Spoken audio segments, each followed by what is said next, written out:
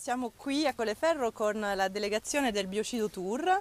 eh, il Biocido Tour è un eh, toxic tour che l'associazione Assud col centro documentazione su conflitti ambientali ha organizzato all'interno delle attività eh, del progetto IGOLT, quindi stiamo qui oggi eh, nel Lazio e domani in Campania per visitare alcuni dei posti più contaminati eh, in Italia, dove appunto le popolazioni soffrono di quello che noi chiamiamo il biocido, cioè l'esposizione sistematica delle popolazioni alla contaminazione ambientale. Eh, la delegazione è composta da ricercatori ricercatori e attivisti eh, provenienti da tutto il mondo, dall'Africa all'Asia, passando per l'America Latina e l'Europa e ci accompagnano oggi e domani tutta una serie di giornalisti per seguire insieme a noi quanto sta avvenendo e gli scambi che si stanno facendo tra ricercatori e attivisti qui in Italia e nel mondo.